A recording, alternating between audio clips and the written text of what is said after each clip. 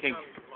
I'm next. Let me. We'll do two rounds of the crossbar challenge. Two rounds. Why somebody? Look at one together. Oh, going. I'm gonna go and get it. You want to be over there then?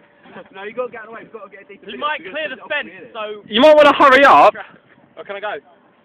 That's not bad. Oh,